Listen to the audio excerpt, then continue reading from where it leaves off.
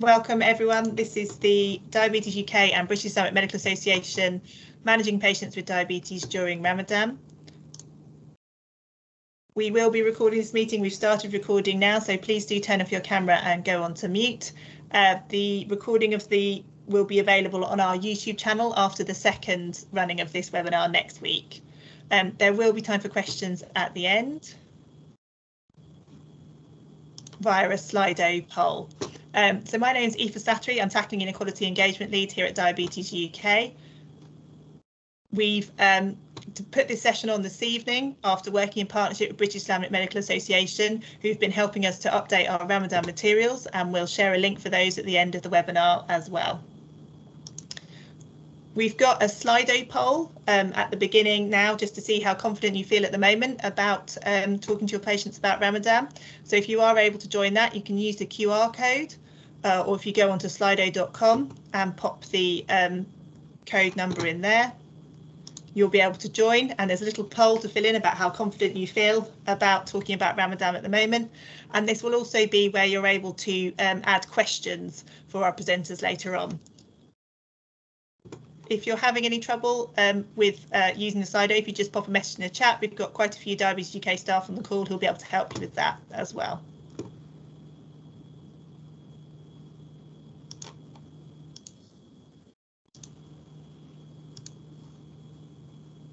So um, this evening we're going to start with hearing from um, Bilal Aksi, who is somebody who lives with type 1 diabetes, who spoke to us earlier in the week um, about the importance of support for fasting during Ramadan for people who live with diabetes. Hi, first of all, my name is uh, Bilal Aksi. I'm type 1 diabetic. I've almost been diabetic for nine years. Um, I'm, uh, by profession, I'm a gas engineer. So I'm always active within my work and um, deal with type 1 diabetes at all times. When the first Ramadan came round, um, for me, uh, in my culture, in my kind of background, in my upbringing, Ramadan is like second nature for me. I don't think twice about it. So when I was diagnosed with uh, type 1 diabetic, I actually just start fasting without realizing or without asking any professional help because I didn't think anything of it. Because when I got diagnosed, Ramadan kind of started quite fairly soon after that. As I was fasting through, um, it was actually helped my diabetes because my basal and bolus had to kind of reduce my insulin down, especially my basal background insulin, had to reduce that down to stabilize it. And when I told my professional body that I was fasting, they were kind of surprised. They were like, "What do you mean you're fasting?" I'm like, "Yeah, I'm just fasting." And they're like, it is one of those kind of things they didn't realize type ones could fast, or they didn't, they didn't have the kind of right solutions or the answers for it. And I didn't think anything of it as well. Be, being naive, being new to type one diabetic, I didn't think anything of it. I, I did have a few hypos. Obviously, I, I, treated them at the time. The good thing is, uh, especially with my religion, I'm actually exempt for um, fasting, but because of the love I have religion and the passion behind it and the benefits from fasting, that's why I kind of continued on fasting with, with that as well. Now there's a lot more resources from when I've started. So there's a lot more knowledge, a lot more um, uh, information out there for uh, type 1 diabetes. And I think a lot more people are aware of it, which is quite refreshing, quite nice. Because Ramadan is like, it's effective like a restart button for myself it just to refresh my body, my mind, my soul, everything that comes with it. What the challenges that are faced, what the common anxieties people might face. I think that a lot of people that don't talk about it, the anxiety that they kind of face on a day-to-day basis with Ramadan, especially leading up to it, is the fact that they want to talk to a professional body or someone that has an understanding and being comfortable with them to be openly talking about it rather than kind of being a taboo subject about it. Mm. You myself, I know people that maybe still do fast but don't tell the, the, their professional body or the doctors. And reason being is just an uncomfortable thing that they may not understand or they don't know the concept behind it or they don't know the reasoning behind it. But this is where professional clinics should take a step up and learn and understand this because it's, there's different faces, different backgrounds, but this is specifically for Ramadan. And you want the person, whoever is coming to you, any patient that's coming to you, to be comfortable in that room, to openly talk about being judged. See, especially nowadays, um, you need to be really open-minded with everything that's going on. Yeah, you want the patient to feel comfortable with any practitioner, with any professional body to openly talk about it. Just read up on that, just get a basic understanding. And if the doctor's unsure, like us as Muslims, well, we like when people ask us questions, it's just out of curiosity awareness. So the religious perspective, by all means, ask. But when it comes to the kind of professional perspective, that's where the doctors need to step up and think, right, where can I like give exception to this, and where I need to give exemption to this. So it's just trying to broaden that kind of mindset towards it. Um, just to summarise what Bilal was saying, he was um, struggling uh, to get the support he needed during Ramadan initially. And when he was first diagnosed, he actually fasted without speaking to his healthcare professional at all, because uh, it didn't occur to him that, that, they would be able to support him. And he talked about the importance of every healthcare professional being proactive and, and talking about Ramadan uh, and not assuming that people wouldn't want to fast. Um, our next speaker is um, Dr. Nazim Ghouri, who is a consultant physician at the Queen Elizabeth University Hospital in Glasgow and an honorary clinical associate professor at the University of Glasgow. Um, Nazim um, is also um, a, a, researcher who has looked in extensively into sacred Islamic knowledge with a contemporary focus, and his research and teaching interests relate to his clinical and academic expertise, as well as ethnicity and faith, with a particular interest in fasting during Ramadan. And he is joint senior editor of the British Islamic Medical Association Ramadan Compendium. So I'm going to hand over now to Nazim. Thank you, uh, Aoife, for that. Uh, and yes, uh, Welcome to everybody to this first joint uh, session that we have between British Islamic Medical Association and Diabetes UK. It's an honour for me to be representing both uh, bodies. Uh, and also to Bilal, who is my patient who actually got diagnosed with diabetes just before Ramadan started. Uh, and the, Bilal is an excellent individual who has understood his diabetes, understood his faith aspect, and has tried to marry the two. He's very much in a unique situation as well, that he's got a team, a consultant who are very much focused towards helping him do what he wants to do in terms of facilitating safe fasting. And I appreciate that not everybody, not every uh, trust can offer such uh, a service or resource. Nonetheless, it's something to be aspirational towards and to highlight that when you can, when you do offer such a service, how it is valued by patients. So uh, thank you for his offer introduction, which kind of summarizes some of my kind of experience areas uh, of expertise and uh, kind of passion for uh, this topic and the broader kind of aspect of faith uh, and health. In terms of today's agenda, um, um it's fairly basic uh, kind of agenda in terms of I'm going to summarize uh, some guidance that we have on Ramadan uh, and diabetes and being able to fast during the month. Excuse me. One thing I would say is that the evidence base in, in general is not that good in terms of like the robustness of studies, the quality of the studies, and even the specificity of the studies. So it is very much uh, healthcare professional led in terms of when uh, it comes to making decisions, and the guide evidence there to help guide uh, those that are helping patients to fasting. And I'm using the Greater Glasgow and Clyde guidelines as a basis. This is the guidelines that I've authored for uh, the region that I work in, which is the largest uh, trust in the UK, if I remember correctly, by size. Uh, uh, in the, uh, our, our, patient population, and also is often referred to by the rest of NHS Scotland as well. Uh, the Diabetes and Ramadan International Alliance guidelines with the International Diabetic Federation, Diabetes Federation, have a, a, an international guidance that have come out has come out in 2021, and I will be referring to that uh, as well.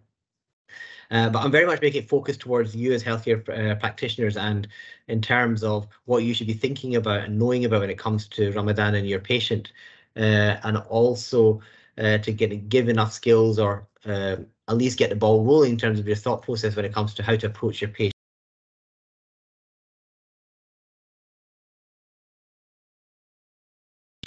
Someone has muted me. Sorry, uh, it would be difficult to, to have this presentation without me speaking, but I'll try to be as pleasant as I can. So in terms of our responsibilities as healthcare practitioners. Uh, this is from 2010 from Professor Sir Aziz Sheikh, who's now Professor and Head of Primary Care Research at uh, University of Oxford, and Ghazala Mir from Leeds. And these two points really highlight the initial divergence that uh, that was picked up on between uh, Muslim patients and their healthcare practitioners. Um, a lot of it, the feeling uh, come uh, of the of the patient is that the healthcare practitioner in front of me does not understand me or my religion or what's important to me. uh, and that there's that this perception that they don't want to engage in what's important to me as a Muslim. I just want to keep this in mind when we're doing this presentation and why we're very much doing what we're doing. The hope is that since uh, this was published in 2010, there has been a positive movement in terms of uh, healthcare practitioner and patient dialogue when it comes to matters such as fasting, for example. In terms of definitions of Ramadan, uh, I, was, I was just looking at this before we started. Uh, the word Ramadan uh, is an Arabic word, or Ramadan is the, how you would say it uh, from the kind of Arabic perspective. And the literal meaning of the word is to is to to bake or an intense heat, and some people say it's used as a kind of way of purifying. In terms of the, the Islamic legal definition, it's uh, one of the five religious pillars, so it's a religious obligation. And in short, what that means for the individual is that there's no food, uh, drink, or anything that enters the GI tract, and no marital relations between dawn and dusk uh, for one month, uh, and that's a lunar month, so it's about 29 or 30 days. Uh, and it occurs every 354 days or so according to the Gregorian calendar, based on the fact that we have 12 uh, months in the Islamic calendar. Uh, and basically, the starting of the fasting coincides with the starting of the morning prayer, and the end of fast coincides with the end of the fourth, uh, start of the fourth prayer, which is just as, as soon as the sun has set. And it's obligatory for any individual who has attained the age of puberty, uh, is sane, and is physically capable of fasting. In terms of a glossary of terms I will be using throughout the presentation, one, the first word is the word suhoor, or the pre-dawn meal or food consumed before the fast starts. And iftar, which is a meal or food consumed when opening the fast uh, just after sun sunset. The word Sharia uh, is uh, referred to, and that's when we are talking about religious or sacred uh, um, Islamic law. So when I talk about Sharia, I'm talking about the Islamic legal perspective. Uh, but forget all those definitions.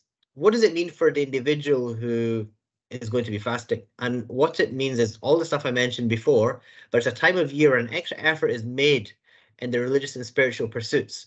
A time when the family and community often get together as well, whether it's to consume food, get together, or celebrate uh, the month, or to pray.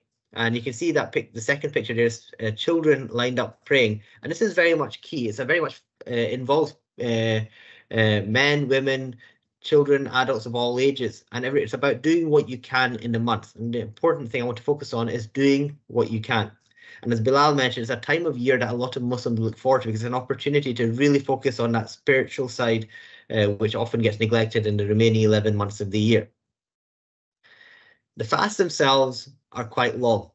Uh, and uh, eh, when it comes to the summertime in temperate regions. What that means is those regions that are further away from the equator, if Ramadan falls in the summer, so for example, that usually means in the months of May to August, and those are in the northern hemisphere, and likewise kind of um, November to kind of February time in, in, in the southern hemisphere, the days can be pretty long. And in 2019, when the days were at their peak, we were looking at an excess of 18 hours, depending on the calculation used to determine the dawn uh, time in particular, because it's, it's somewhat arbitrary because we don't have a true dawn uh, in temperate regions.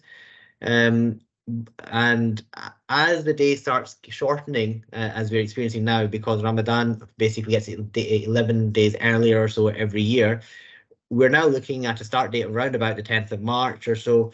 Uh, and for example, in London, that means uh, uh, uh we're looking at a fast that's probably going to be around 13 and a half hours at the start of the month. And as they, we get towards the end of the month, uh, at the, the, beginning of April, we might get into closer to 15 hours, which you can see is not quite the excess of the 18 hours from just simply uh, four or five years ago.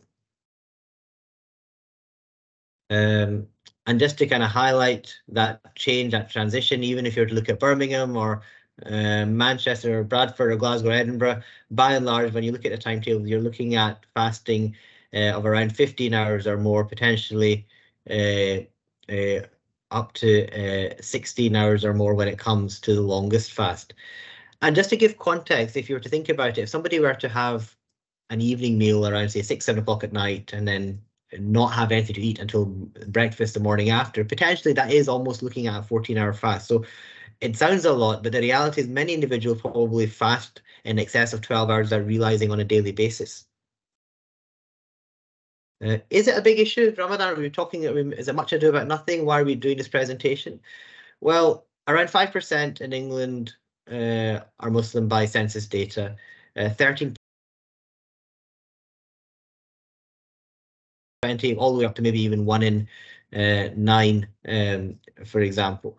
Uh, the majority are of Asian, that's uh, uh, Bangladesh, Pakistan, and Bangladeshi background, uh, and Arab, and they're accounting for around 3.2% of the UK population. But there are obviously Muslims from other backgrounds as well, including uh, Sub-Saharan Africa, East Asia, uh, North Africa.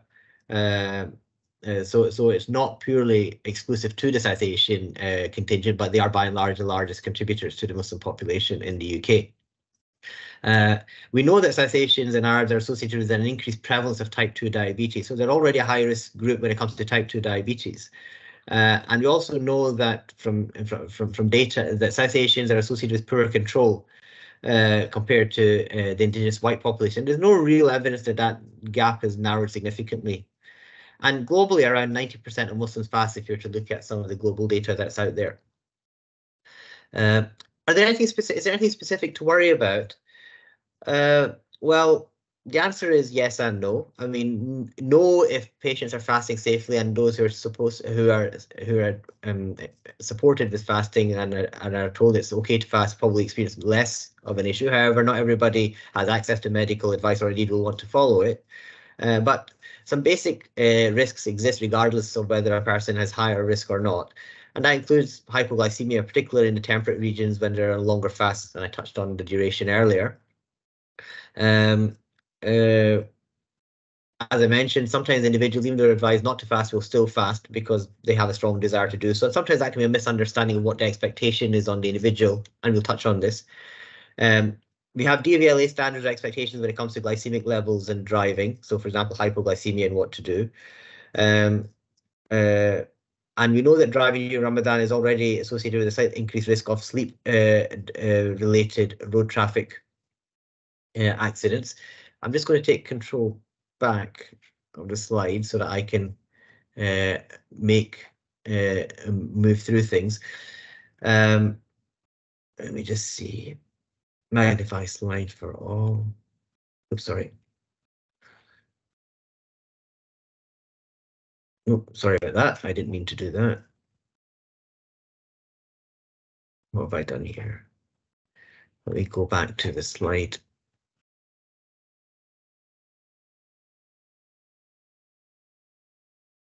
I, in my attempt to try and make slides bigger, uh, made a mistake here. One moment. Uh, how do we do this? If I don't know if you want to take. Yeah, back... do you want me to? If I take control from you and you take it back again, that might yep. work. Yep.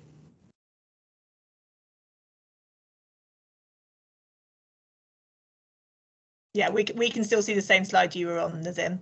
Okay, so you can still see the same slide. Okay, that's fine. So I can just go through it one by one then. So the only thing now is I wanted to go back to actually being able to change it from grid view. One second.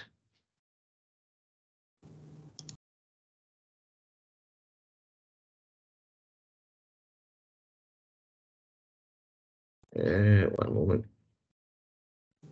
No worries. I'm happy to share them for you if that's okay. easier for you to see Can, them.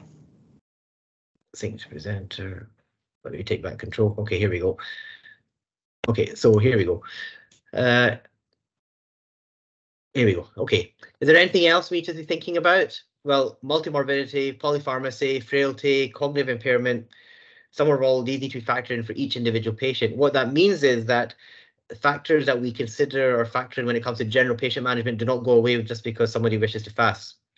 Uh, driving is an example of uh, complex areas uh, uh, because we have to factor in secular legislation with Islamic legislation on a subject. And there is a paper that we have written on, uh, published on it to kind of guide individuals, but also to highlight how the inter the interplay exists between secular and religious law, which is quite interesting for those that want to get a feel for the Sharia and the principles, where it derives from, where it fits in when it comes to need and necessity and health, for example.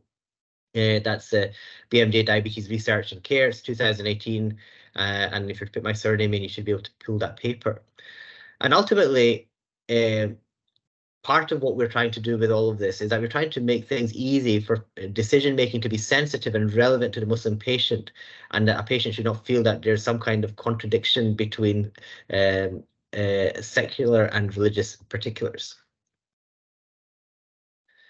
Is it a big issue in terms of uh, numbers? Uh, this is from Diabetes Lance, uh, Lancet Diabetes and Endocrinology, and in that they say that if you're to look at uh, the uh, uh, the, if you look at fasting, for example, uh, fasting in the general population, I said was about 5%. Fasting in the diabetes population might be approaching even 25%. So from a diabetes population perspective, uh, Ramadan is not an insignificant uh, matter when it comes to people who uh, fast and have diabetes. In terms of fasting and uh, exemptions, I think it's important to understand the religious concept of sick leave it does exist. And I'm taking the verse directly from the Muslim holy book, the Quran, um, and uh, the um, uh, verse 184 in particular of the second chapter, which is the cow. For a certain days, a number of days, uh, you, you basically are fasting. But whoever among you is sick or on a journey, then he or she shall fast a like number of other days. And those that are not able to do it may effect redemption by feeding a poor man.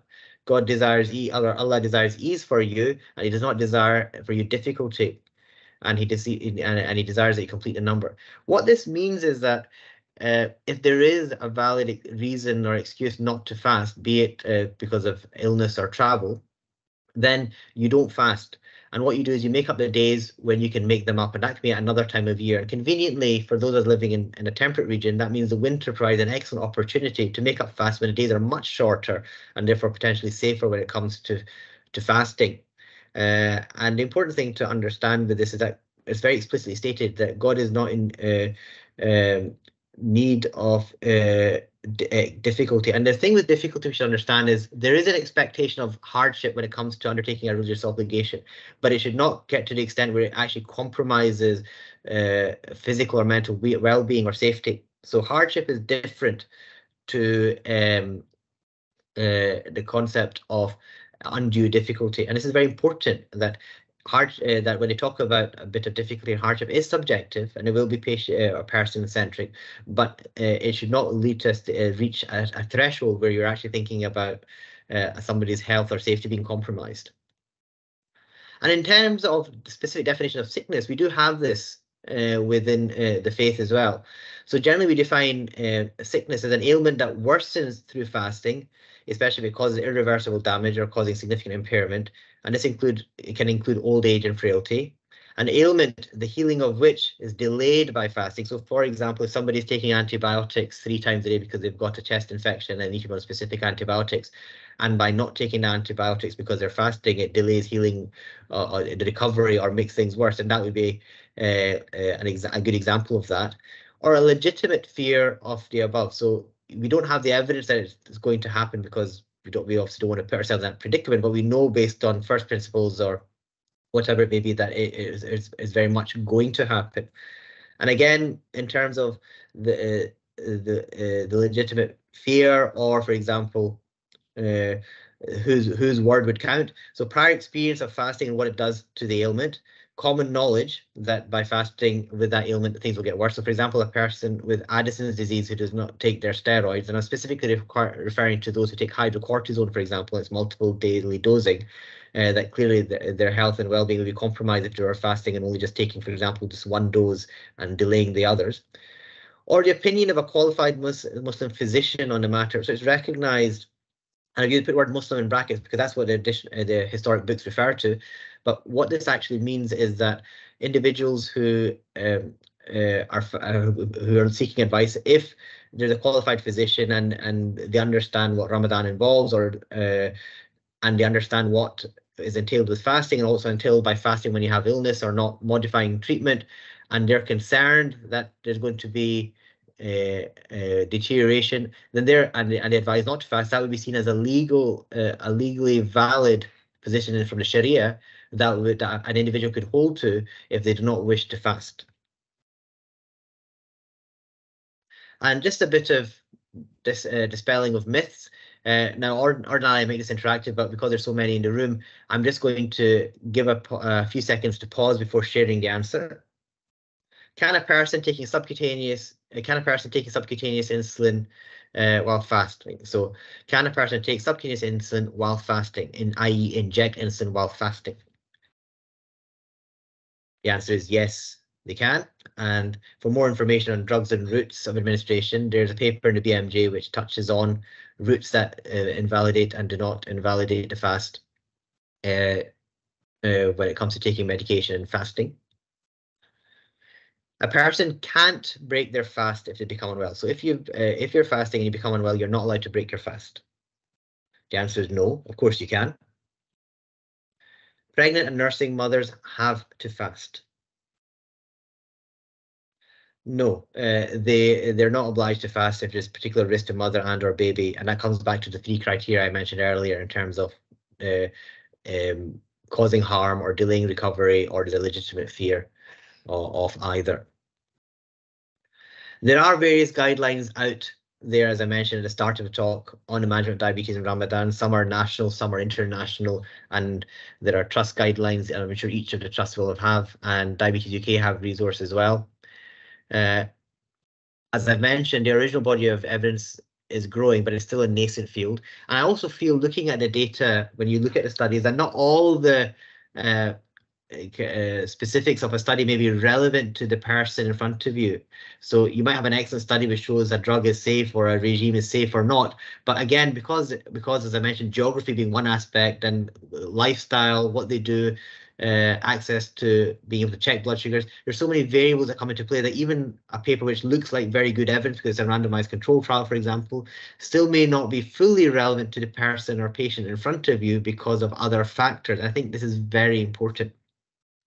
Uh, but the common messages often come from all the guidelines and uh, the advice that's out there and, and the studies uh, is uh, common messages are plan for Ramadan in, in advance, which is why we're doing this seminar two months before Ramadan starts. You have enough time to think about your patients, have a consultation with them, have a discussion, allow for some deliberation and also potential modification of treatment in advance of Ramadan. So you can take it running risk stratify your your patient. So uh, the new IDF DAR tool, which you'll have seen and now is a score based or risk score based system. It is grade four evidence the way things stand.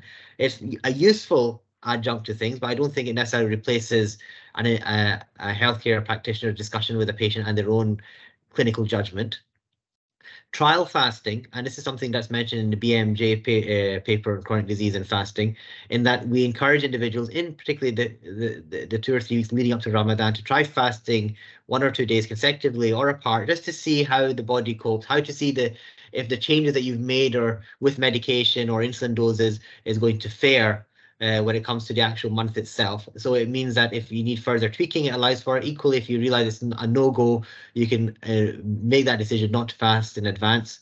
It might it might be that it, that you can only really realize this at the start of Ramadan when you've done two or three consecutive days to see how things are going, and we'll touch on this later.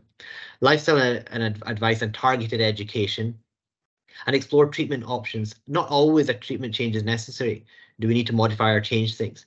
And another common message is it's the patient's choice at the end of the day. Uh, so this is a flow diagram here uh, to uh, show, for example, in, in from the Greater Glasgow and Clyde guidelines, how we would approach uh, the, um, uh, the the planning stage, you know, four to 12 weeks before Ramadan starts, to risk stratify the patient, structured education on various uh, aspects, including that which is listed, uh, for example, fluids and meal planning, advice on exercise, medication adjustments. And then based on that, uh, risk stratification, generally will advise to fast or not to fast, uh, or um, and again, that's based on risk stratification, very high risk groups, high risk and moderate or low risk groups. And I'm aware that the 2021 DAR guideline uses a slightly different wording for the risk categories, but the, concept of risk stratification has not gone away and is the theme or essence to good Ramadan planning. Uh, not every patient wants to fast. Uh, they'll have reasons for and against, and part of it might just be a fear, and they've just never been able to discuss it with somebody, or they've had a prior negative experience when they haven't been prepared properly. So even if they don't want to fast, uh, just ask them why is it they may not wish to fast. It might be a legitimate fear that you can alleviate, uh, which was legitimate once upon a time, which you might be able to alleviate through things because it's about giving patients an opportunity to uh, to explore the options available to them and not just purely saying, well, you don't want to fast, that's fine, my job is easy. Sometimes they want to discuss with a Muslim physician, not because a Muslim physician is better than a non-Muslim physician, but it's because that concept of being able to relate and having things in common that make discussion easier and, and dialogue easier. Uh, they might want to speak to an imam or a scholar because, again, they might not necessarily trust uh, the advice that healthcare practitioner is giving, even though they have a religious basis to it, and that's fine. Uh, but it's important that, and any good imam or scholar will often say, what is the medical advice on it? Because they'll never disregard it because they understand how important it is, and in many ways it trumps the decision or advice they give.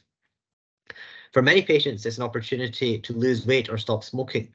Um, uh, and also, we have to think about meal timings, etc. And we'll touch on this later. Sometimes secondary care referral or discuss with a community diabetes specialist nurse who can discuss with their link consultant, for example, for more complex patients may be needed, particularly for those in primary care or pharmacists who are taking the lead when it comes to patient management. We work as a team, so reach out to those who can help, whether it's in primary care or secondary care.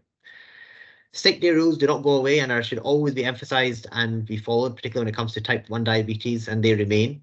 Uh, emphasis at sick and uh, uh, the illness and safety are are valid reasons to either terminate a fast or abstain from fasting. And again, what to do if recurrent persisting circumstances occur uh, when it comes to the following of sick day rules. Uh, so again, uh, the, the the IDF DAR guidance very much moves from a low to I put in brackets very because that's the prior guidance made use of the word very high risk to high risk. And again, the following factors that are listed there uh, all um, contribute to that, and some of them I've added in which are not necessarily included in the DAR guidance. And I think one thing we often overlook, particularly with an aging population, with elderly people that live alone, is cognition, the degree of frailty in old age. Uh, uh, if a person is not going to be safe in their environment, then that in itself could be a reason to advise not fasting. If, for example, they're living with family that's a different situation. So even to old people who share everything in common, apart from one living with family and one not living with family, uh, that could make a deal. That could be the difference between fasting and not fasting. type of work, such as shift working, night shifts, the pattern of work, and for example, the, if a lot of physical activity involved. For example, when the pandemic was in full swing, many individuals had to wear PPE, which was causing a lot of dehydration, making things very uncomfortable. And for many individuals, uh, they actually had to break their fast because it was too difficult. So again, these circumstances may be things that we do not think of, excuse me, initially, but can arise through the journey. Uh, in terms of the previous DAR-based risk table, which I think was actually quite good, and I prefer the risk table to the the the scoring system. and I'll touch on this why later. Um, um, it's quite small there uh, on that, but you can hopefully click on the link uh, to the GGNC guidelines, which has this in, in a bigger font. Um, but again, it highlights those uh, patients that you might think would be safer for fasting and those that would be less safe for fasting. Um, and I think uh, one thing we have to understand are individuals who are who have type 1 diabetes, who have poor control, have DKA, or have problems with hypoglycemia or hypoglycemia unawareness, they are very much at the top of the risk. Uh, and at the very bottom of the risk, you have patients, for example, who are just diet controlled or on um, metformin, uh, or they're your kind of lowest risk, and everybody kind of fits in the middle. This is the stratification scoring system that they make uh, reference to in terms of various uh, factors that will determine whether your score goes up or down. And this is uh, and uh, they very much gauge the opinion of healthcare practitioners in terms of what they would class as a high risk or low risk to try and come up with a scoring system. It's a valiant effort, and I'm all for scoring systems, but they're not a replacement for clinical decision making and discussing things with your patient. There will be many a patient who's low risk actually you think actually they just can't fast because they're uh, because their, the risk is high. And importantly as well, there are patients who are high risk who actually perhaps are not as high risk because of a number of protective factors. I'll touch on this later that would say, well, actually, maybe you can try fasting. And based on the score, we'll determine whether you fall into a low, moderate, or high risk category. And a score of six or more uh, puts you in high risk. Uh, and some of the risks to consider uh, dehydration, uh, diabetic ketoacidosis, HHS, for example, hypoglycemia, hyperglycemia. And this has all historically been quoted, these, these four pillars have been quoted time and time again, but evidence base underpinning a lot of them actually is very is is is is, is not as high as you think or strong as you think, and I'll touch on this uh, as well. As I said, there are limitations with the tool. Um, for example, uh, if a fast is less than 12 to 14 hours, would that make the risk even lower, for example? And I mentioned many people might sleep overnight and not eat between evening their evening meal and breakfast for in excess of 14 hours. Uh, the use of flash or continuous glucose monitoring, for example, the alarm system, uh, insulin pump therapy, particularly when you have the closed loop system, all these things potentially can lower risk. Uh, but equally, things that may increase risk are prior negative experience of, say, Ramadan. And this is uh, a flow diagram taken from the Greater Glasgow and Clyde guidance, which I've used to kind of join between the new risk scoring system and the existing uh, risk uh, stratification table that we have out there.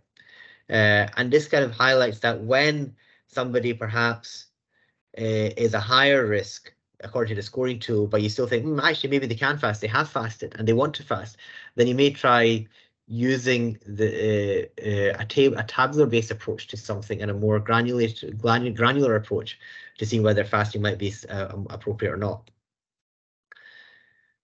And like I said, uh, there is other opinion and guidance on type 1 diabetes out there other than what is in the IDF uh, DAR guidance. Sufyan Hussain and colleagues uh, have uh, published in Lancet Diabetes and Endocrinology for 2020 when it comes to type 1 diabetes and fasting. Uh, and interesting about Sufyan Hussain is that he is a patient himself with type 1 diabetes uh, who fasts. But again, he understands and appreciates the risks and the importance of planning. Uh, so he's not one to advocate that every person with type 1 diabetes to fast, but said look at your own individual circumstances and make a decision based on that. My, my own personal view is more aligned with the, the guidance that's out in the diabetes endocrinology, Lancet Diabetes Endocrinology paper rather than what is with uh, the DAR guidance. And each individual should make their own uh, healthcare practice should decide how to look at each uh, uh, guideline and how to apply or follow it according to their patient. Trial and voluntary fasting was something that I had touched upon earlier on, and this has uh, been explained in detail in the BMJ practice pointer uh, by Mahmood and colleagues from 2022, and many of them are part of the uh, contribute contribute to the BIMA guidance as well. Um, uh, unfortunately, my the BIMA logo in front of the bottom of the uh, the last uh, word, but I think uh, uh, that says that is too high risk. So basically, trial fasting or voluntary fasting allows an opportunity to evaluate individuals' risk, particularly if the, this is a, is a new this is a new situation since last Ramadan, like as the case of Bilal when he first fasted, or there's been a change in their clinical uh, circumstance or severity since last Ramadan, even though they fasted it. There've been medication changes, or medication changes might be needed for Ramadan. Uh, there are other factors that might need to come into play, for example, dehydration, nutritional changes because there have been changes in weight, for example, since the last uh, year. And then another advantage that also allows uh, for acclimatization to fasting. So fasting a couple of voluntary fasts actually is uh, helps the individual just get into the, the, the physical and mental mindset of fasting before Ramadan starts. Um, and also, if we are thinking, if a patient is high risk, for example, it gives an opportunity to see, well, is this high risk categorization a valid categorization for this individual or not? Uh, and some advice regarding how to go about voluntary fasting, be adaptable. Patients might want a specific instruction. How many times should you perform trial fast for? So again, there's no right or wrong answer. There is no supporting literature, but generally in our experience, uh, three to five practice fasts in a month before Ramadan is probably enough to get a feel for things, and maybe a couple of them being consecutive because sometimes it's not much so much the individual the intermittent fasting but the consecutive fasting that might be the challenge. And it may be uh, that as a result of the uh, of the uh, the voluntary fasting you may say to the individual you're okay to fast maybe three four five days in a row then you might want to take a break to let your body recover for one or two days. And that's still a better option than not fasting a month at all or haphazardly approaching a month, trying a few fasting, getting ill or sick, and, not, and then taking more time off. So a structured approach might even help in that situation where the clinician feels, you know, I think you're okay for three or four days, but I think your risk of hypos is going up or your risk of dehydration, whatever, might pick up after four or five days because of your specific circumstances. And equally, patients might be more willing to terminate a trial fast and a fast in Ramadan because it's a voluntary fast. So that concept of breaking the fast as well can be approached and and uh, and, and utilized if needed. And it might make an individual more confident to break the fast in Ramadan if they realize, well, hang on, I had to break it when I was doing the trial fast, so it's fine. Consecutive, uh, alternative consecutive daily fasting. Again, think about is there a risk of worsening disease or delaying uh, convalescence if there's an acute illness involved, or for example, they've had an infection and they're having to follow sick day rules. Um, uh, if uh, you feel that this the fasting in the summer when it was the fast for longer is just a no-go area, then they can potentially fast one, two, three, or even several days consecutively in the winter. Because when you're making fast up in the winter, you don't have to make them all up in one go. If you just make them up when you can. So as long as you make them up, uh, then that's sufficient. And although some might say you have to make them up within the next year, that's not always the case. Uh, for some of the schools of jurisprudence, as long as they're made up in their lifetime, it's sufficient. Um, Again, alternate day fasting or fasting a few days and taking a break. So the balance of fast that needs to be made up after Ramadan passes may not be the full 30, it might be 15, it might be 12, it might be 10, it might be 6, it might be 20, whatever it is. And only if there's a perpetual or permanent circumstance that arises from fast uh, uh, from your uh, condition that prevents a person from fasting, then we would say you'd have to pay the fidya, and that's the legal expiation, uh, the, the Sharia expiation to fasting. What that means is if you can never fast at all, or you realize you'll never be able to make up your missed fast, then you would pay uh, the, uh, the, equivalent of feeding a poor person for a day, and that usually is around four or five pounds per day. Uh, if you're to do uh, a UK conversion, it would be cheaper in uh, in some of the developing countries uh, for all those days they can't fast, and that's the last resort. Some people think, oh, I can't fast, I'll pay the the fidya and then I'll try and fast later. No, it's it's very much a tiered approach, and you only pay the fidya if just uh, circumstances such that it's permanent or persistent, in which case we ask the individual to speak to their imam or religious trusted religious authority for more information on the matter. Specific guidance from IDF DAR, which I think is very useful, is a, a, a lot of common sense guidance, but also important to highlight that the importance of checking your sugars uh, regularly when you are on insulin in particular. Uh, and blood glucose testing does not break your fast. Uh, and this is confirmed by uh, imams and scholars. Uh, uh, test at the start of the day and then during the day. Uh, so good thing about starting at the start of it gives you a good understanding where you are at the start of the day. When I mean start, that's when you keep the fast, start keeping the fast. Uh, if you have a hypo, break the fast. That uh, less than four, and that's specifically obviously if you're on insulin and sulfonylureas. If you've got sugar of less than four, you're only on metformin. Then you could argue that yeah, a sugar of down to three is probably okay because it's not because that's more in keeping with physiological hypoglycemia. But nonetheless, sometimes individuals not might not feel good because they're not used to their sugars being as low as that. Um, uh, breaking the fast uh, under four is a good rule to follow, uh, and it should be a definite rule to follow when it comes to insulin and sulfonylurea.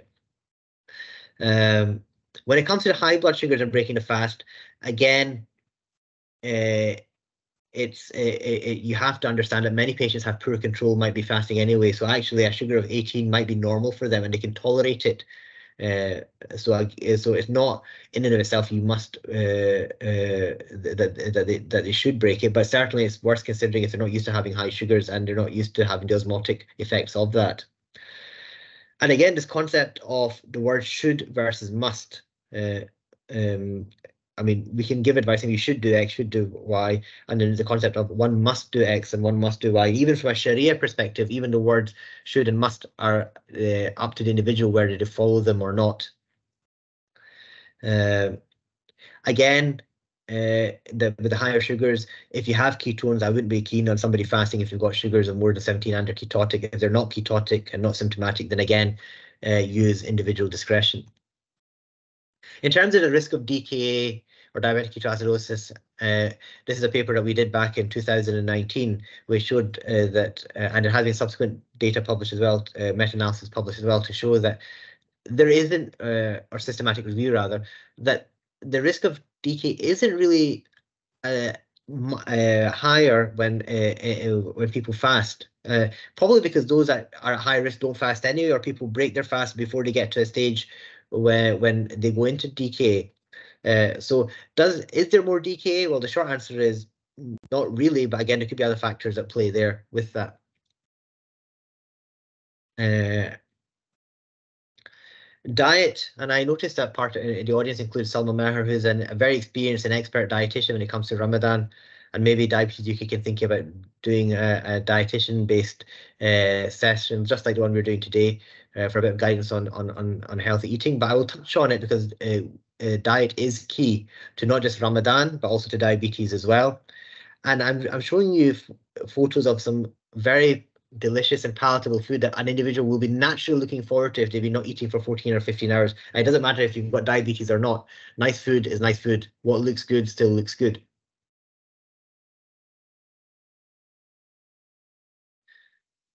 But it's important to understand that when we that foods contain calories and contain different amounts of calories. We have some foods which are more energy dense than others, and the amount of carbohydrate within them uh, can be quite significant. Uh, and, and, therefore that can have an impact on glycemic rises, particularly when one is opening the fast, but also the speed of the rise as well, depending on the amount of um, uh, refined carbohydrate there, high glycemic index versus low glycemic index food. So we need to be mindful of things. And often when we when individuals open their fast, soft drinks, fresh juice might all be readily available, accessible, encouraged to be consumed because there's this concept I'm dehydrated. Whereas the reality is often the risk of dehydration, particularly in a fast are only 40, 15 hours, is, is not as it's not that high. Like I said, many people don't drink during the night unless they're they've got a specific reason to to do it. But um, sometimes what can happen, you can overdo things, and that can be food, drink, uh, both at the time of keeping the fast and opening the fast. Um, and and uh, by looking at this table here for them, it's, it's a reminder to individuals to think about food that they're eating, the amount of carbohydrate, particularly when it comes to type 1 diabetes and bolus insulin, for example. But equally, for example, if individuals are going to have type 2 diabetes and they're having a very large carbohydrate load and they're on sulfonylurea or non-metformin, uh, they still might get a, a spike in their sugars because they're eating more than they ordinarily would at that meal time.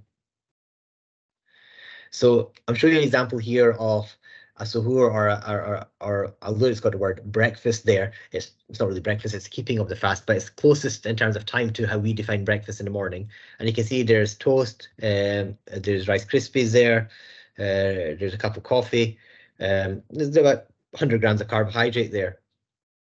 But then if you take a, uh, and you see there's all, and all the sources, toast, jam, juice, cereal, milk, all these are sources of carbohydrate. Some are perhaps lower glycemic than others, but generally quite a lot of high glycemic index foods there. Now, here's an alternative suhoor, which will have a significant, will, will, will not be too different when it comes to calories, but the amount of energy coming from carbohydrate is less. And this is something to be mindful of is that energy just doesn't come from carbohydrate, it comes from protein and fat as well. And having a balanced diet, we have uh, making use, uh, use of all energy substrates is important, particularly when you're concerned about hypoglycemia because you're thinking, oh, I'm taking all these carbohydrates, you take all this insulin. But the reality is, is that you uh, the, the risk of hypoglycemia might go up if you uh, if you, for example, take too much insulin. Equally, if you don't take enough insulin, you might uh, run with high sugars and become osmotic.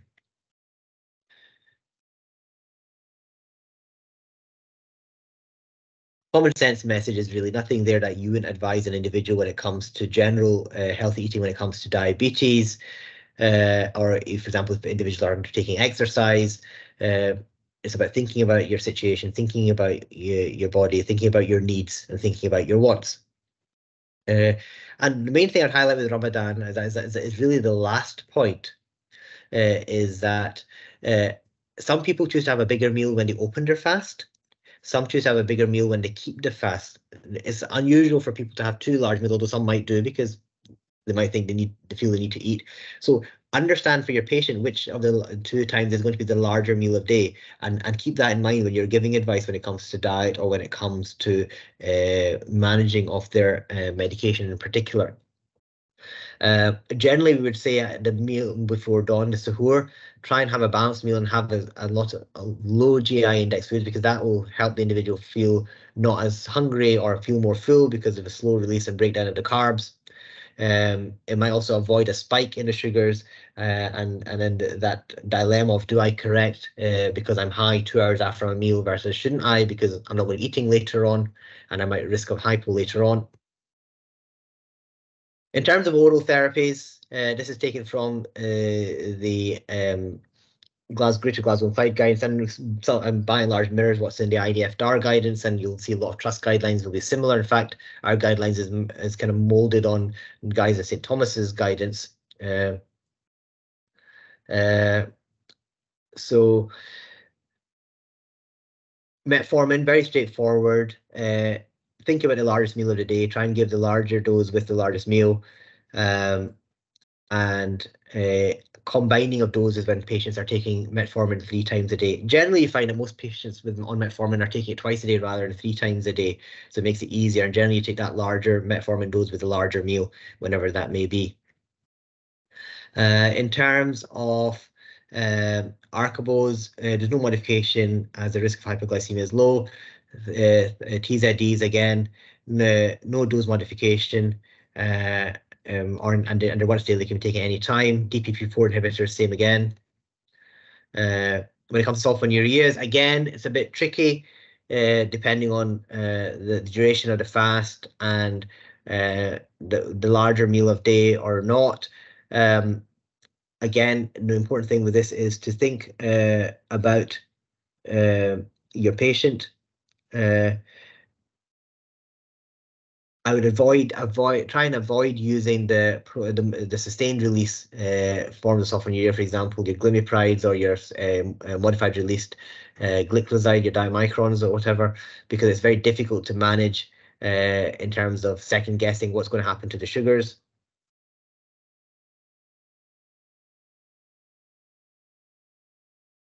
SGLT2 inhibitors and GLP receptor agonists again, we're getting more confident using this medication. There's data there showing that these medications are actually uh, reasonable uh, uh, uh um, drugs to be used and encouraged to be used because the risk of hypoglycemia in and of itself by using these drugs is not there. When they're used with sulfonylureas and insulin, yes, the risk is there, as is when titrating or starting these treatments at other times. Um, and again, sulfonylureas, uh, sorry, SGLT2s are used for other have other indications as well, for example, cardiac and renal indications as well. So it comes back to risk stratifying your patient due to multimorbidity. The individual may be advised, excuse me, not to fast as opposed to fast, in which case dealing with these medications may not be as, particularly SGLT2s may be a non-issue because they might not be fasting. Equally, we should understand how the mechanism, mechanisms of these drugs work as well. So for example, the SGLT2 inhibitors, they have a glucose lowering effect and we know that is maximal until the EGFR reaches around 45 and then it's more of the, the, the sodium effect when the EGFR is less than that. So again, the if the individual is on an SGLT2 inhibitor and they're on insulin as well, but the EGFR is say between 30 and 45, the risk of hypoglycemia might not be that high, but nonetheless, because they're probably higher risk because that multimorbidity has to be balanced with it all. Insulin, again, uh, depending whether you're on basal, basal bolus, or biphasic insulin will uh, determine what you do. Basal insulin is generally quite easy. You just reduce the dose slightly and it stays at once a day. And usually we advise taking it at the iftar time because you have that window of being able to eat if you do run into with low sugars. So uh, if is and and um, so sometimes we, we often say take the basal insulin at this, uh, when the individual is opening their fast. The bolus insulin again, uh, we would just say carb count, follow your normal type 1 rules, but they may wish to reduce their bolus insulin at the time of keeping their fast just because of the risk of hypoglycemia. I've often found that reduction in basal is probably more useful than reduction in bolus um, when it comes to that managing that risk. When it comes to twice daily insulin, it is a bit trickier, especially when the fast is longer. Um, when if um, and I, I generally find that when it comes to twice daily insulin, either I try and get the patient to basal if I can, or I, if I think it's too risky or tricky, I tell them to fast in the winter uh, because the fasts are only are 10 or up to even 12 hours, but 10 hours very manageable and we can easily manage a 10 hour fast with uh, uh, mixed insulin. As I said, BD insulin regimes uh, are challenging with longer fasts. there's no easy solution, especially when the meals are close together. Uh, so, for example, when uh, in the, when the fasts very long in the summer, or somebody's doing voluntary fasts or whatever at other times of year, it's, it's, it's very difficult to take a dose of insulin and then try and second guess what to do for another dose when the fast is going to be kept five hours later. Uh, so again, if the risk of hypoglycemia is high or real, then consider an alternative time of year. During Ramadan, so you've, you've gone through all the pre-Ramadan preparation workup and you have uh, discussed and felt that fasting is an option and you've given all the necessary advice, make sure to monitor sugars. Involvement of someone in the team uh, early on if control becomes erratic. Uh, this is very important because um, if uh, uh, somebody's having erratic sugars, this is a new circumstance for them. They might not have the experience or confidence. They'll want to reach out quickly. So it's better them reaching out than them trying to do something themselves. Um, so if your trust has that opportunity or you have your hospital or your uh, has that opportunity, then having a link person for the month who can be able to take or field calls when queries come in from patients would be a, an excellent uh, um, uh, facility, I think. Again, the importance of being sensible when it comes to fluid electrolyte reiteration. And one of the things that I want to highlight with this is that the, many individuals will choose to pray at night as well, the extra voluntary prayer, which might be anything from uh, an extra half an hour to an hour and a half over and above the time they spend praying at night. And this will also involve the cycles of prayer, which will standing, bowing, prostrating. So again, uh, some might be praying on a chair, that's less of an issue, but if they are standing, postural symptoms might come into play, particularly if they've been quite dehydrated or they've been exercising as well. So uh, generally making sure that they keep themselves hydrated before they go for the, the nighttime prayer and hydrating themselves during it as well. Remember, they can eat and drink during the hours of darkness. And again, if the patient is struggling, take a break. As would be the case if you didn't have diabetes and a person was, had become unwell, you would not fast. So if if there is that that concern that hardship is now becoming uh, no longer hardship, actually risk of harm, then take a break. Whether it's one day, two days, it's fine. It's better to take uh, take that break. If an individual is not wanting to take a break because they feel they ha- they're compelled to fast, then what I would say to them is then break the fast. And this is a very important message I give to all my patients. And normally I mention at the start of my presentation, I think it's worthwhile mentioning now, is that when I speak to my individual about Ramadan and fasting, it's not about abstaining of food and drink. It is uh, the word uh, saum, which is used for fasting, has a root meaning to abstain. The real essence of Ramadan or fasting is to abstain from one's desires and to fulfill God's desires first and foremost. This is why they talk in the verse which makes reference to fasting. Uh, it, talks about acquiring God consciousness uh, at the end of the verse, the purpose of it. So what that means is you're putting God and His Word, and by extension, what the Prophet Muhammad peace be upon him uh, advised, first and foremost above our own individual desires and wants. So if through the Sharia one is advised not to fast, then their fasting is not fasting because they're putting aside their desire to fast for the desire of uh, God, which is not to fast. So they might be eating and drinking, but they have that inherent desire, I want to fast. And it's about controlling that desire.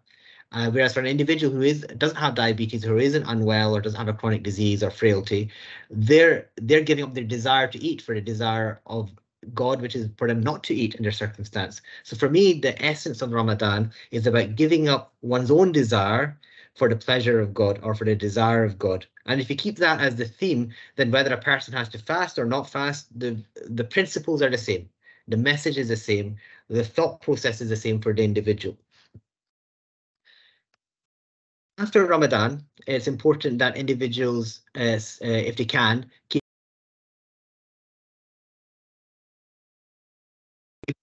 uh, uh, after Ramadan, um, keep uh, it's good to touch base with your healthcare practitioner if you can. And if they can't, tell them to keep a diary of what went well, what did go well, what changes did they make, what did they learn, because this is useful information for next year and also useful information for the healthcare practitioner when it comes to advising patients in general. The more experience you have, the more confidence you get from the experiences you acquire, the better you'll get at doing it. Again, other factors to factor in. If the patient isn't going to check their blood sugars and they're on insulin, I would I'd, I'd, be very unkeen for them to be fasting because they're not going to take responsibility. And part of it is that you want the patients to take responsibility for their Ramadan and their fasting. uh, and to be able to do it. You want to be able to trust them to be able to trust themselves to do the right thing. So again, you know your patient better and best. So even if a guideline says one thing, you have to decide whether that guideline is applicable in its entirety or not for your individual patient. Again, that infrastructure, as I mentioned, is key because that could make all the difference. And that, the example of Bilal, for example, when he started off, he had that infrastructure in place, he had access, and, and another individual may not have that, and therefore they might, their diabetes might be exactly the same, but their circumstances aren't.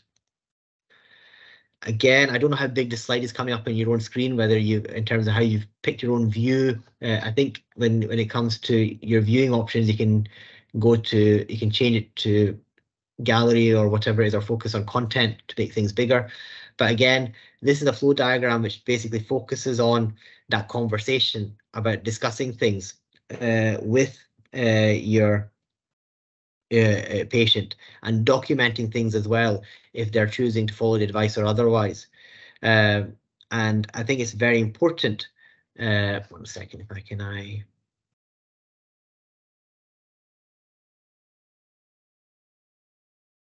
Do anything here. I'm just going to magnify it a bit, see if it gets a bit blurred there. So I mean, it's, it's more for my own reading, so I can see what's on the slide a bit better. But basically, there are steps there about risk stratifying your patient after you had a conversation about whether they want to fast or not, and after the stratification, whether the risk stratification marries up with what your thoughts are and what the patient's thoughts are. And if they aren't, for example, they want to fast even though they're not, can you give them advice on safe fasting uh, and giving that and documenting that and also stressing and reiterating the fact that uh, they are going against medical advice because it keeps things medical legally on board. And you'll notice that even though I feel very passionate about it, I'm also very passionate about my profession and doing things in a responsible manner that is in keeping with our Hippocratic uh, uh, oath that we have all taken.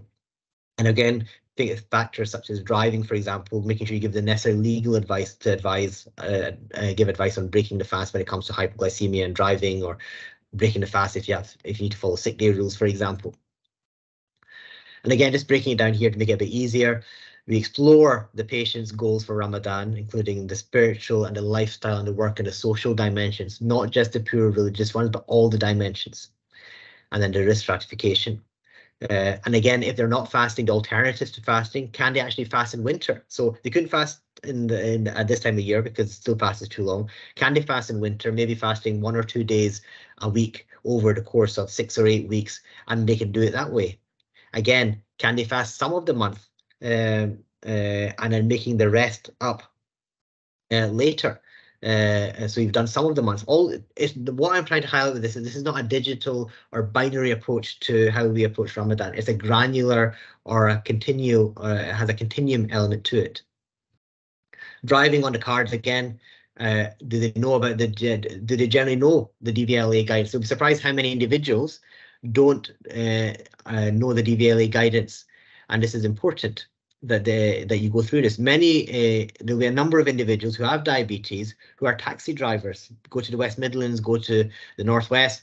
Uh, you'll have uh, uh, many individual diabetes who will be taxi drivers who may be on sulfonylureas, for example, sulfonyl, sulfonylureas or insulin, for example, and therefore they should be checking their sugars in relation to driving anyway. This is an important opportunity and an excellent opportunity to revisit that.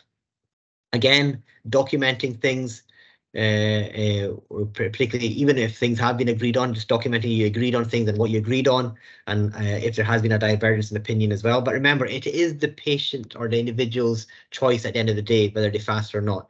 Uh, and uh, as long as the, it, it is a decision they have made without which has not been coerced upon them, whether they agree with us or not, that is with anything else, we have to respect their decision. Um, obviously, it can be hard to support an individual when they've gone against medical advice because you just don't have any advice to give because you, you just wouldn't expect someone to fast, but do the best you can. I'm going to go through a few cases and then bring things to a close uh, where we highlight uh, some patients. These are based on uh, uh modified modifications of real life patients I've looked after, um, where uh, individuals had comorbidities and at different times of the year. I've put different years down as well to highlight the duration of fast, how that can impact things. And I had a patient back in 2013 who had type 2 diabetes uh, who wanted to fast. Uh, and the reason I mentioned the years, well, you can then go back and check that uh, it gives an idea of the duration of fast, as I said. Had had a previous CABG, uh, and had type 2 diabetes, and they were involved with Glasgow Central Mosque and keen to fast. And it was a cardiology consultant that flagged the patient up uh, to ourselves uh, because uh, the GP advised the patient not to fast. The patient wanted to fast, and they were having this conversation with the cardi um, with the cardiologist, and the consultant diabetologist had referred the patient on to me. I was a registrar then, but I had an interest in this. Uh, so again, uh, looked at the time of the meal and which meal was going to be largest. Advised on taking off a pre-dawn meal as well. Uh, and I uh, um, and that's what he uh, he was planning to do, and he wasn't planning to change the amount of physical activity he was doing. So what we did was we said, okay, let's see how the fasting goes, but we'll make a change to the metformin dose in reflection of the size of the meal. We actually cut the insulin down by quite a bit as well, and they were going to monitor their sugars. Uh, and I would contact a patient a few days into Ramadan. This is my first real experience of managing a patient, so I was a bit excited as well about it all and quite keen. I accept and appreciate that busy GPs or practices or even uh, DSNs will not be able to do this, but nonetheless, sometimes you might want to have a, a deep dive with a patient just to get that confidence. So uh, worthwhile doing it every so often. Uh, and in fact, I increased up the insulin dose towards the uh, end of the month, and the HbA1c the month after actually wasn't too bad at all and there was no hypoglycemia. So again, basal insulin, as I said, a lower risk patient, and we did not too badly. Perhaps moderate or high risk because you factor in the cardiac disease as well, but the cardiologist didn't have any concerns because the medic medication could be uh, taken without compromising uh, uh, either the dose or the uh, the timing, and uh, he was happy for the fast uh, to go ahead from a cardiology perspective. This is an example of a, a 46 year old Nigerian lady. Ramadan was in, this is a 2017. So again, fasts were pretty long back then. Um, and had type 2 diabetes. Uh, it was 84 prior to Ramadan and uh, uh, the year before, and it was 54 in 2017, and that was probably the effect of the the GLP-1 uh, and the SGLT2. However, she would experience a lot of thirst from the dapagliflozin, and she found that when she used to fast, uh, she'd get urinary tract infections, even if she tried fasting in the winter. And heartburn was also an issue with her. And many of you know as well that with uh, GLP-1 receptor agonists, that heartburn can sometimes be worse, and particularly when uh, they are not able to eat anything. Uh, and basically her plan was she doesn't fast and she just wanted to double check with myself that uh, that she wasn't missing anything and she feeds poor people because she, even in the winter they said she can't fast winter or summer she couldn't fast has tried fasting has exhausted all means and therefore she's an example of someone who paid the fidya case three uh, uh, Mr. X, who's a Scottish Egyptian man in his uh, 30s, uh, type 2 diabetes on oral therapy, but from a diabetes uh, uh, had a, a painful, poorly healing foot ulcer. So from a glycemic perspective, no major concerns, excuse me, in terms of their treatment, but was having a foot ulcer that A was painful and was not healing.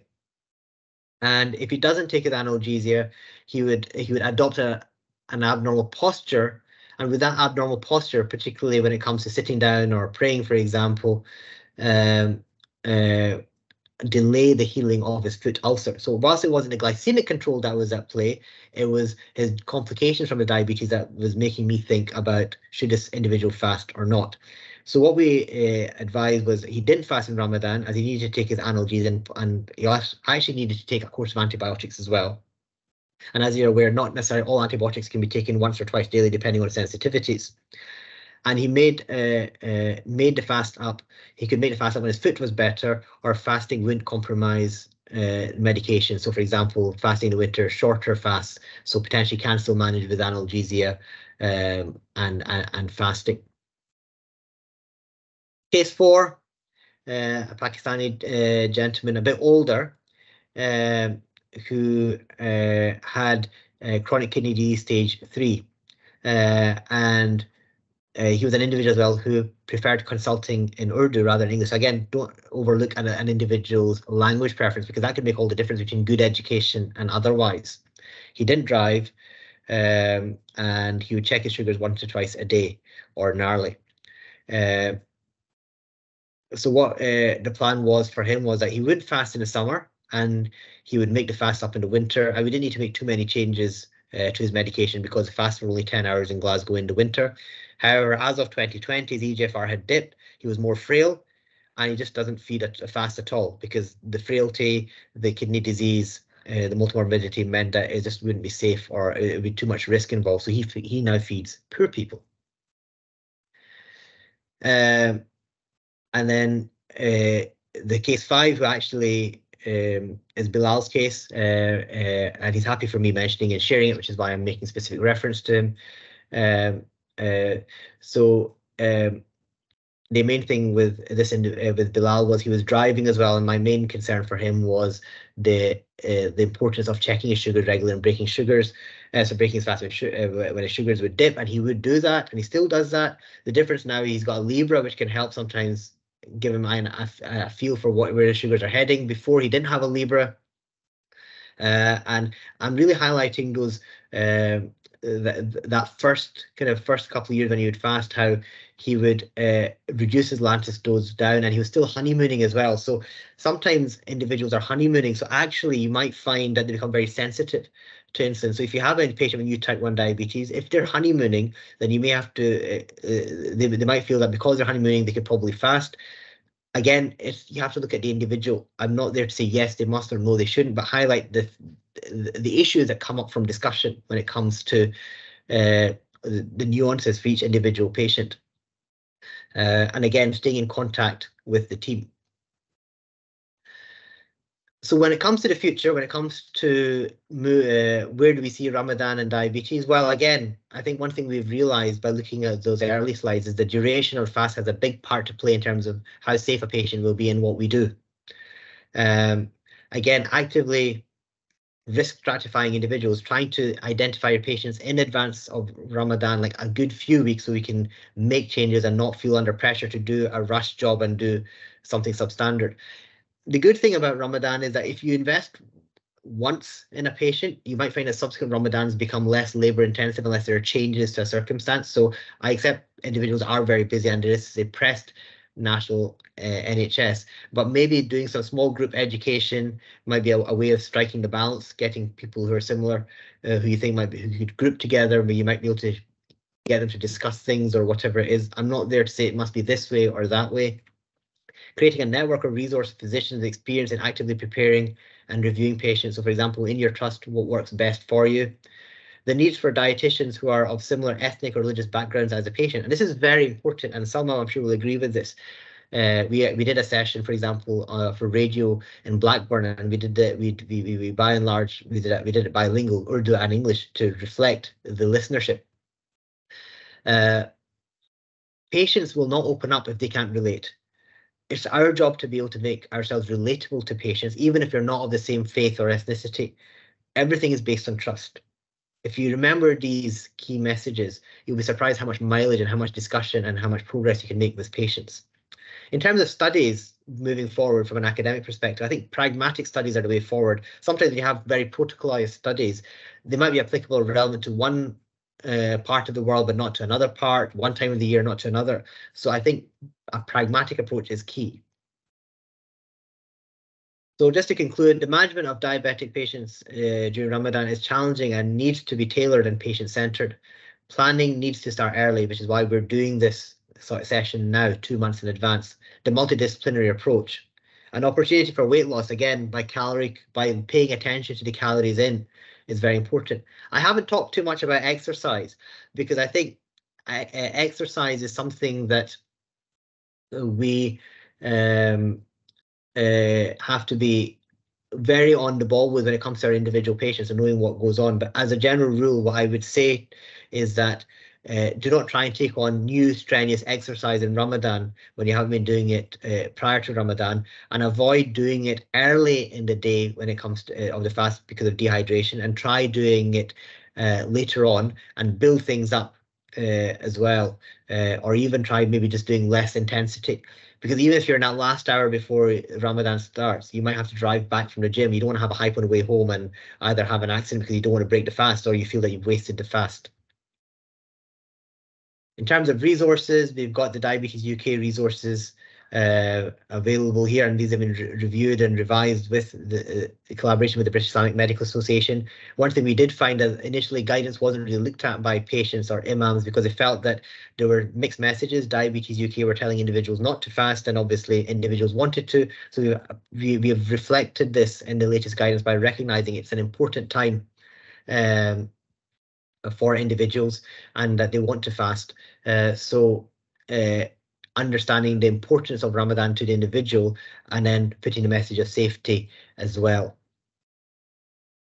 We've got the learning zone as well, where we've got uh, uh um, uh, videos uh, for the South Asian community in different languages. So this is for general guidance on uh, um, management of diabetes, but there are also video, uh, Ramadan videos in English, Urdu and Sylheti. And this is obviously something that we're keen on uh, doing in terms of reaching out to patients in the language and terminology that they can uh, relate to. And finally, uh, just some references here when it comes to other related conditions. So the Mahmoud paper when it comes to chronic disease management, there's also the cardiovascular disease uh, uh, paper in heart. We've got the epilepsy guidance uh, that's been published as well adrenal insufficiency, which does actually have an evidence base. And this uh, practical guideline is actually endorsed by the Society for Endocrinology. And we have patient guidance out there as well. So under it, um, uh, which has been uh, endorsed by uh, the various charitable or, uh, patient groups, including uh, the Pituitary Foundation and the Addison Society. Um, we have chronic kidney disease guidance as well. and we've got some COVID related queries, I guess less relevant now, but nonetheless, sometimes it comes up. Uh, so these are various papers there. I'm just taking control back. And then some acknowledgements to various people who've helped prepare this guidance and uh, a lot of the work that we've done in the past. Uh, some names are familiar to many of you from the diabetes field or from the primary care field, and uh, some may not be who are very local to us. And I'm going to hand over back to Aoife uh, for the concluding uh, remarks and to take any questions. Thank you, Nazim, and thanks for that. And, of course, a huge thank you to you and to BIMA for helping with the review of the Ramadan materials at Diabetes UK. As you say, we, have changed the tone of a lot of the articles and um, made much more of an acknowledgement of the importance of Ramadan, uh, which I think has made a real difference to how those are perceived. Um, so we have got the Slido poll now. If anyone's got any questions, there are a couple in there already. Um, so I will pick those up. And if you've got any more you want to pop in there, um, so the first question we have is why would your blood glucose rise during a fast, Nazim? So sometimes what happens is individuals eat more because they think they're fasting and they might go hungry, they might have a hypo.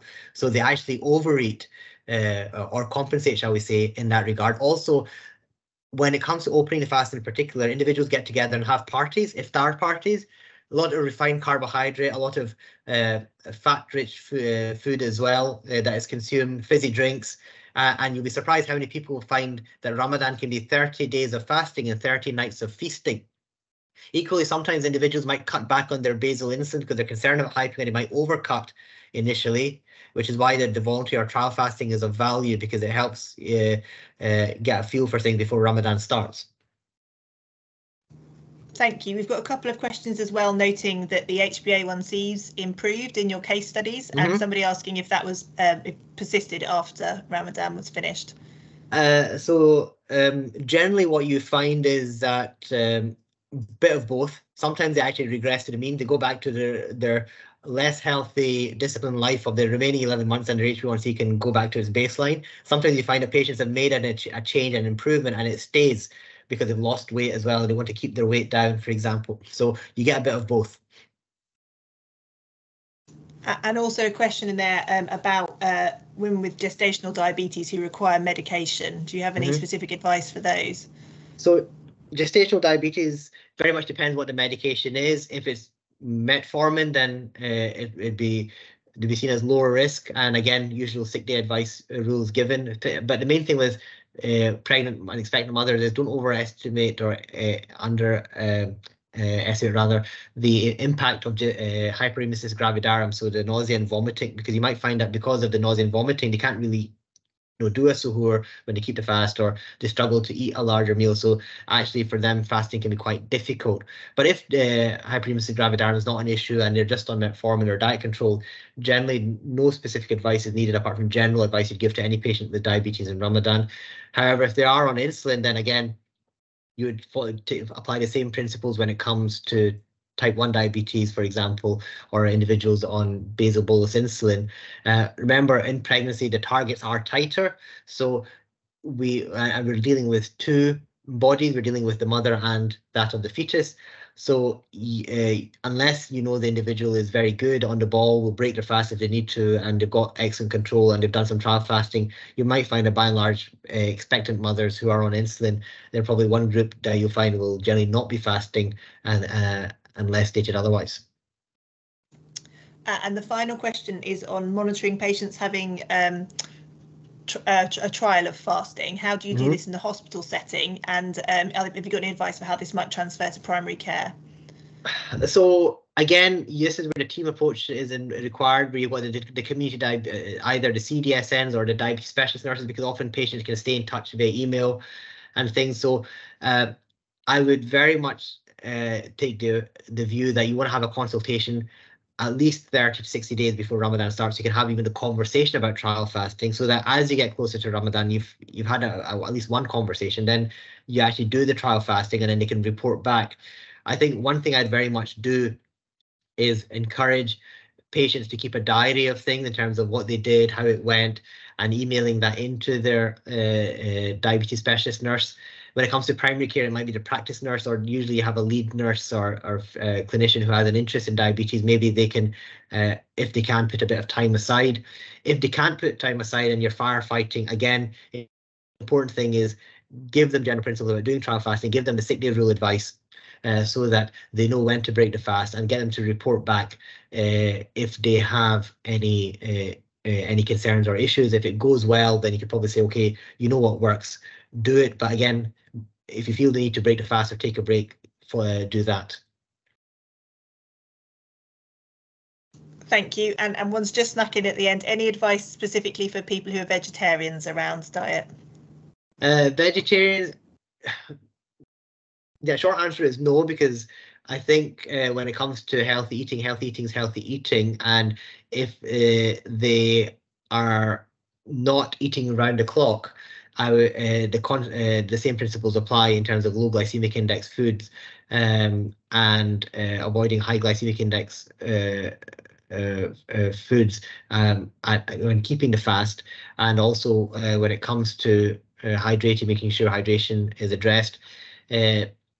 Again, it might be something worth covering in a future session. But the good thing about doing a session with a dietitian is you don't necessarily need to do it uh, three, four, five weeks in advance. You can even do a couple of weeks in advance of Ramadan. Uh, so it might be worth uh, while having a session where we can address even specific scenarios such as the vegetarian uh, diet uh, when it comes to fasting. One thing I would say is that with lots of people doing intermittent fasting now for health reasons, Ramadan fasting actually is actually quite a safe uh, um, fast now, now at the, at the, time of year that we've, we've approached. The difference obviously is we can't have any water to drink, well, which is the main difference with intermittent fasting, but sometimes intermittent fasting, individuals might be fasting for as much as 24 hours. So I think uh, Ramadan fasting has in many ways been seen as uh, as safer now that a lot of individuals are embarking on intermittent fasting. Thank you. Yeah, that's a, that's a really interesting point. Um, so I think we, we've run out of questions and we're coming up to the end of our time. Uh, so it just remains for me to thank you, Nazim, for this has been a fantastic and really interesting talk. And I can see everyone in the um, chat has really enjoyed it as well. Um, there is another session of this next week on Thursday evening. So if you know of other colleagues who you think might benefit from this, might be interested, please do share the link. They can still um, sign up for it. And then after that session, this will be on our YouTube channel um, for you to find as well. So thank you very much to everyone who's joined. Um, we are just going to share the Slido poll again now. So if you're able to fill in with how you feel after this session in terms of your confidence in managing Ramadan, that would be great for us. Um, and we will send you a survey after this as well to fill in. But thank you very much everyone who's joined and do tell um, your colleagues about our session next week as well. Yeah, thank you, Aoife, as well for the opportunity. And one thing I would say is that a lot of the slides were quite uh, detailed in content. I'm hoping that when the YouTube uh, link goes out that there'll be bookmarks at each slide change so that if individuals with headings so that if individuals want to recap specific slides they potentially will have the opportunity to do that when it's on the youtube channel